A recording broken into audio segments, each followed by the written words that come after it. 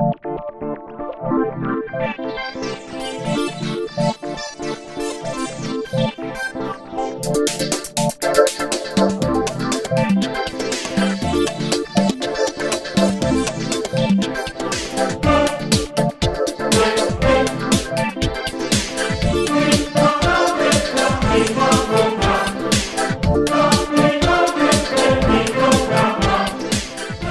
φορά και έναν καιρό ήταν μια αγριά κατσίκα που είχε 7 μικρά κατσικάκια και τα αγαπούσε πολύ, όπως η μάνα αγαπάει τα παιδιά της. Μια μέρα αποφάσισε να πάει στο δάσος να μαζέψει χόρτα. Φώναξε λοιπόν και τα 7 και τους είπε «Αγαπημένα μου παιδάκια, θα φύγω να πάω στο δάσος τα μάτια σας 14, μην ανοίξετε σε κανέναν, γιατί αν τρυπώσει μέσα ο κακός λύκος θα σας κάνει μια χαψιά. Ο λύκος ξέρει να αλλάζει τη μορφή του, θα τον αναγνωρίσετε όμως από τη χοντρή βραχνή φωνή του και από τα μαύρα του πόδια. Και τα κατσικάκια της απάντησαν «Ναι, Έννοια σου μαμά, θα προσέχουμε, φύγε και μην ανησυχείς. Βέλασε τότε η κατσίκα για να τα αποχαιρετήσει και έφυγε ήσυχη. Ναι.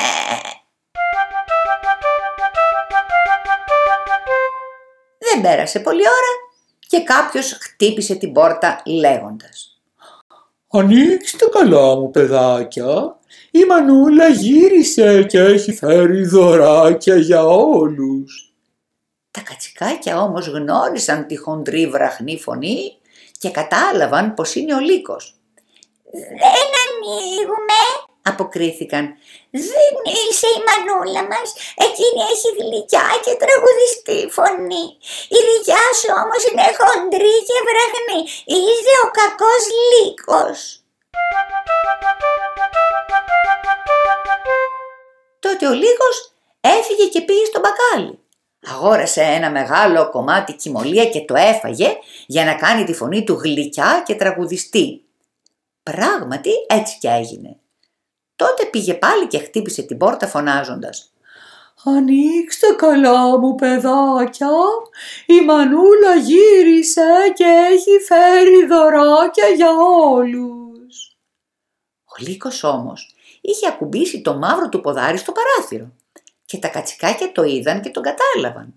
«Δεν ανοίγουμε», φώναξαν. «Η μανούλα μας δεν έχει μαύρα πόδια σαν τα δικά σου, είσαι ο κακός λύκος». Ο λύκος τότε μια και δυο πάει στο φούρναρι και του λέει «Χτύπησα το πόδι μου άλυψέ μου το μεζιμάρι να μαλακώσει ο πόνος.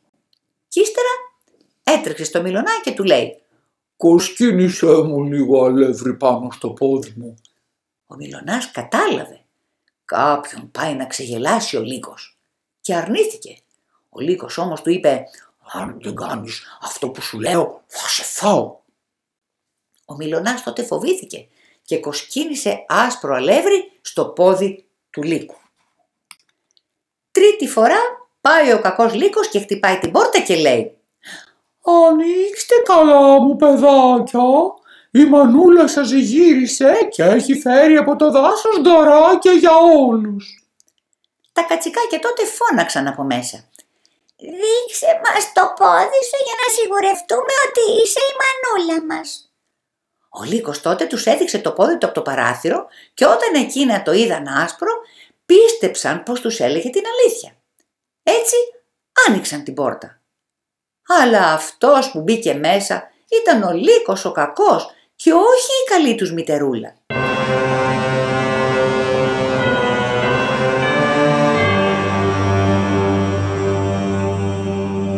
Τρώμαξαν τα κατσικάκια και έτρεξαν να κρυφτούν.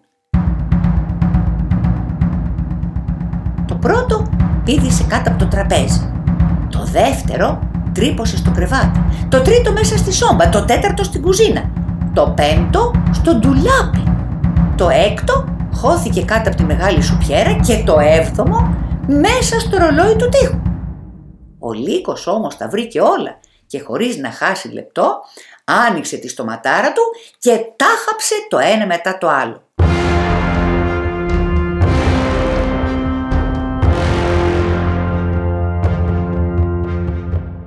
Μόνο το πιο μικρό δεν βρήκε που είχε χωθεί στο ρολόι του τείχου.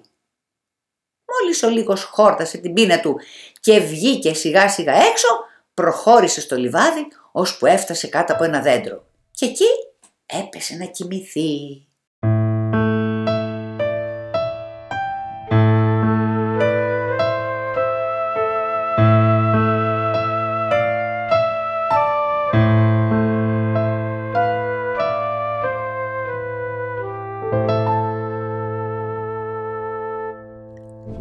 Μετά από λίγη ώρα γύρισε η γρία κατσίκα από το δάσος.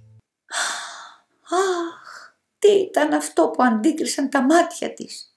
Η πόρτα του σπιτιού της ορθάνυχτη, τραπέζι, καρέκλες και πάγκι αναποδογυρισμένα όλα.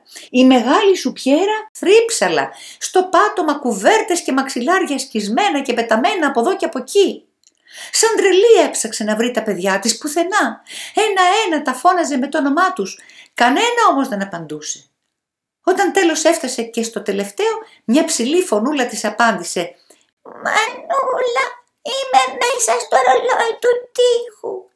Αμέσως το έβγαλε από μέσα η κατσίκα και εκείνο της είπε ότι είχε έρθει ο λύκος και είχε φάει όλα του τα αδερφάκια. Με μαύρο δάκρυ τάκλεψε η κατσίκα τα κακόμοιρα τα παιδάκια της.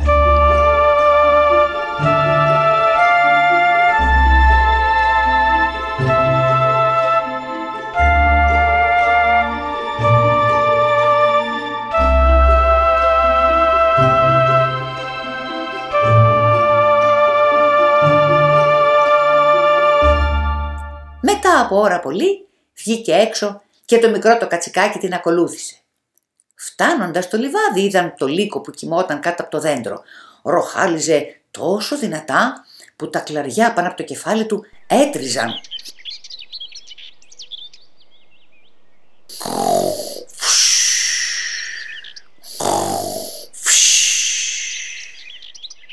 Η κατσίκα τον κοίταξε από όλες τις μεριές και είδε πως μέσα στην τουρλωμένη του κοιλιά κάτι χοροπηδούσε. «Αχ, Θεέ μου», σκέφτηκε, «μήπως ο κακός λύκος έκανε τα παιδάκια μου μια χαψιά και ζουνε ακόμα μέσα στην κοιλιά του». Γρήγορα στέλνει το μικρό το κατσικάκι στο σπίτι να φέρει ψαλίδι και βελόνα και κλωστή και ανοίγει την κοιλιά του λύκου με μια ψαλιδιά. Δεν πρόλαβε να ψάξει και να σου κιόλας το πρώτο κατσικάκι που βγάζει από μέσα το κεφάλι του και όσο έκοβε άρχισαν να πηδούν έξω το ένα μετά το άλλο. Ήταν γερά και τα έξι, κανένα τους δεν είχε πάθει τίποτα, γιατί ο κακός λύκος από τη λεμαργία του τα είχε καταπιεί ολόκληρα, δίχως να αναμασίσει.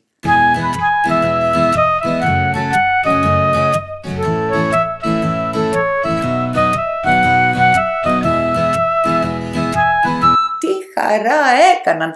Αγκάλιαζαν όλα τη μανούλα τους και χοροπηδούσαν σαν να είχαν πανηγύρι. Η κατσίκα όμως τους είπε «Πηγαίνετε γρήγορα να βρείτε μεγάλες και βαριές πέτρες. Με αυτές θα γεμίσουμε την κοιλιά του κακουλίκου τώρα που κοιμάται». Γρήγορα γρήγορα έφεραν τα 7 κατσικάκια όσες πέτρες βρήκαν ολόγυρα και γέμισαν την κοιλιά του λέμαργου θηρίου. Η κατσίκα τότε τον έραψε με τόση γρηγοράδα και δεξιοσύνη που αυτός δεν κατάλαβε τίποτα, ούτε καν σάλεψε στον ύπνο του. Και όταν επιτέλους ξύπνησε, σηκώθηκε και προσπάθησε να πάει να πιει νερό γιατί οι πέτρες στη κοιλιά του του είχαν φέρει μεγάλη δίψα. Καθώς άρχισε να προχωράει, οι πέτρες στην κοιλιά του άρχισαν να κουνιόνται και να χτυπάνε μεταξύ τους. Τότε ο λίγος έβαλε τις φωνές. Νόμιζα πως είχα φάει έξι κατσικάκια. Φαίνεται όμως πως κατάπια χίλια πετραδάκια. Και όταν έφτασε στο πηγάδι και έσκυψε να πιει νερό, οι βαριές πέτρες τον παρέσυραν και ο κακός λύκος πνίγηκε. Μόλις το είδαν αυτό τα 7 κατσικάκια, έτρεξαν καταχαρούμενα φωνάζοντας «Πάει ο κακός λύκος, πάει πνίγηκε!»